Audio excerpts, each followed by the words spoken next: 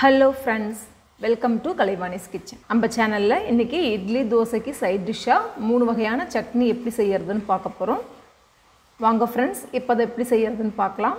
First வெங்காயம் தக்காளி சட்னி எப்படி செய்கிறதுன்னு பார்க்கலாம். ஒரு கடாயை சூடு பண்ணிக்கலாம். கடாய் சூடானதும் ஒரு டேபிள் ஸ்பூன் அளவுக்கு எண்ணெய் சேர்த்து எண்ணெய் சூடானதும் ஒரு டீஸ்பூன் உளுத்தம்பருப்பு சேர்த்துக்கலாம். உளுத்தம்பருப்பு பொன்னிறமான ஒன்று இந்த சட்னிக்கு வெங்காயம் சின்னதாக கட் பண்ண வேண்டியதில்லை. ரெண்டு மீடியம் சைஸ் வெங்காயம் நீல வாக்கில் கட் பண்ணி வச்சுருக்கேன். அதை சேர்த்துட்டு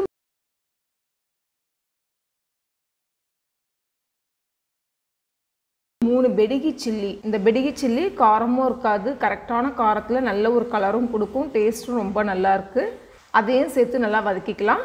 இல்லை நம்ம நார்மல் மிளகா இருந்தாலும் சேர்த்துக்கலாம். அடுத்ததாக ஒரு அரை இன்ச் இஞ்சி சின்னதாக கட் பண்ணி வச்சுருக்கேன். அதையும் சேர்த்துக்கலாம். வெங்காயம் லேசாக வதங்கின ஒன்று அரை டீஸ்பூன் சீரகம் தேவையான அளவு உப்பு சேர்த்து வதக்கிட்டு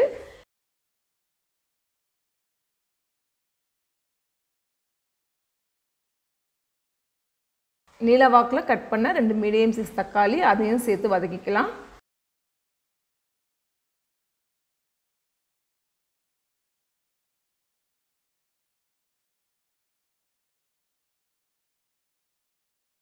ஒரு டூ த்ரீ மினிட்ஸ் ஸ்லோ ஃப்ளேமில் வச்சு மூடி வச்சுருங்க. இப்போ பாருங்கள் இந்த வெங்காயம் தக்காளி நல்லா வதங்கிடுச்சு. நம்ம சீரகம் சேர்த்து செய்யும் போது இந்த சட்னியோட டேஸ்ட் ரொம்ப நல்லாயிருக்கும் அடுத்ததாக ரெண்டு டேபிள் ஸ்பூன் அளவு தேங்காய் சேர்த்து ஸ்டவ்வை ஆஃப் பண்ணிவிட்டு ஒரு பவுலுக்கு ட்ரான்ஸ்ஃபர் பண்ணிடலாம்.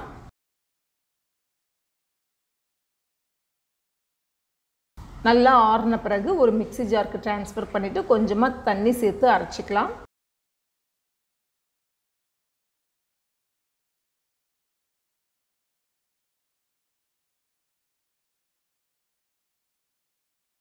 அடுத்ததாக அந்த சட்னியை தாளிச்சிடலாம். ஒரு கடாயில் ஒரு டேபிள் ஸ்பூன் அளவு எண்ணெய் சேர்த்துக்கலாம். எந்த சட்னியுமே தாளிக்கும் போது நல்லெண்ணெய் சேர்த்தா ரொம்ப நல்லாயிருக்கும் எண்ணெய் சூடானதும் அரை டீஸ்பூன் கடுகு அரை டீஸ்பூன் உளுத்தம்பருப்பு சேர்த்து கடுகு வெடித்து உளுத்தம்பருப்பு செவந்த உடனே கொஞ்சமாக கருவேப்பிலை சேர்த்து இப்போ அரைச்சி வச்சுருந்த சட்னியும் சேர்த்துக்கலாம். இந்த சட்னி நம்ம ஏற்கனவே நல்லா வதக்கிட்டோம். அதனால ரொம்ப நேரம் கொதிக்க வைக்க வேணாம். ஜஸ்ட் மிக்ஸ் பண்ணிவிட்டு ஒரு பவுலுக்கு ட்ரான்ஸ்ஃபர் பண்ணிடலாம். நம்மளோட வெங்காயம் தக்காளி சட்னி ரொம்ப அருமையாக ரெடி ஆகிடுச்சு அடுத்ததாக தேங்காய் சட்னி எப்படி செய்கிறதுன்னு பார்க்கலாம்.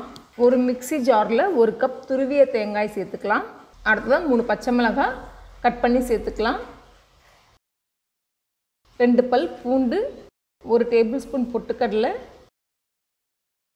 தேவையான அளவு உப்பு சேர்த்து தேவையான அளவு தண்ணி சேர்த்து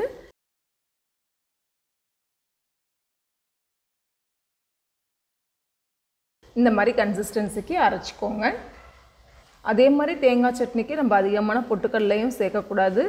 இந்த மாதிரி கம்மியாக பொட்டுக்கடலை சேர்த்து செஞ்சால் தான் சட்னி வந்து ரொம்ப டேஸ்ட்டாக இருக்கும். நம்ம இஞ்சி சேர்க்காமல் பூண்டு சேர்த்து அரைக்கும் போது இந்த தேங்காய் சட்னியோட டேஸ்ட் ரொம்ப நல்லாயிருக்கும்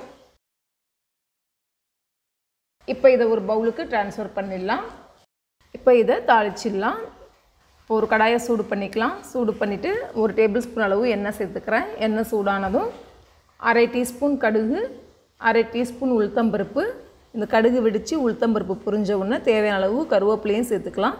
இப்போ இந்த தாளிப்பு பார்த்திங்கன்னா நான் அடுத்ததாக செய்ய புதினா சட்னிக்கும் சேர்த்து செஞ்சு வச்சிடலாம். இப்போ இந்த தாளிப்புலேருந்து கொஞ்சமாக எடுத்து தேங்காய் சட்னியில் சேர்த்துடலாம். வாங்க அடுத்ததாக கொத்தமல்லி புதினா சட்னி எப்படி செய்யறதுன்னு பார்க்கலாம். ஒரு கடாய் சூடானதும் ஒரு டேபிள் ஸ்பூன் எண்ணெய் சேர்த்துக்கலாம். எண்ணெய் சூடானதும் ஒரு டேபிள் ஸ்பூன் உளுத்தம்பருப்பு சேர்த்து அஞ்சு காஞ்ச மிளகாய்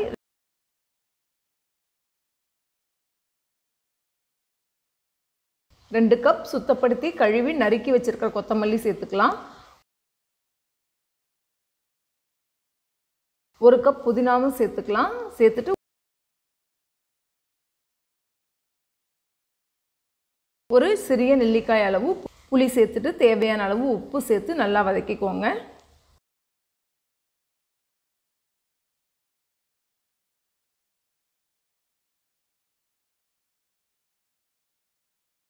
ஒரு டேபிள் ஸ்பூன் துருவிய தேங்காயும் சேர்த்து வதக்கிக்கலாம். இந்த சட்னிக்கு எனக்கு வந்து அந்த புதினா கொத்தமல்லியோட டேஸ்ட் ரொம்ப பிடிக்கும். அதனால் நான் அதிகமான அளவு தேங்காய் சேர்க்கல. உங்களுக்கு வந்து தேங்காய் அதிகமாக வேணும்னா நீங்கள் இன்னும் ஒரு டேபிள் ஸ்பூன் அளவு தேங்காய் சேர்த்துக்கலாம். இப்போ இதை ஒரு பவுலுக்கு ட்ரான்ஸ்ஃபர் பண்ணி ஆற வச்சுக்கோங்க. நல்லா ஆறின பிறகு ஒரு மிக்ஸி ஜாருக்கு ட்ரான்ஸ்ஃபர் பண்ணி கொஞ்சமாக தண்ணி சேர்த்து அரைச்சிக்கலாம். இந்த எல்லா சட்னிக்குமே தண்ணி வந்து உங்களுக்கு எந்த கன்சிஸ்டன்சியில் பிடிக்குமோ நீங்கள் அந்த அளவுக்கு சேர்த்துக்கோங்க.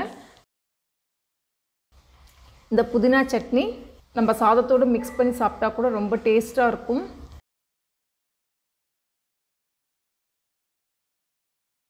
இப்போ இதை ஒரு பவுலுக்கு ட்ரான்ஸ்ஃபர் பண்ணிடலாம். இப்போ இந்த தாளிப்புலேருந்து கொஞ்சமாக எடுத்து சேர்த்துடலாம். ஓகே ஃப்ரெண்ட்ஸ் நம்மளோட மூணு வகையான சட்னியும் ரொம்ப அருமையாக ரெடி ஆகிடுச்சு நீங்களும் ட்ரை பண்ணி பாருங்கள் இந்த மூணு சட்னியும் உங்களுக்கு பிடிச்சிருந்தா என்னோடய வீடியோவை லைக் பண்ணுங்கள் ஷேர் பண்ணுங்கள் சேனலை சப்ஸ்கிரைப் பண்ணுங்கள் மீண்டும் இன்னொரு இன்ட்ரெஸ்டிங் ரெசிபியோட உங்களை சந்திக்கிறேன்.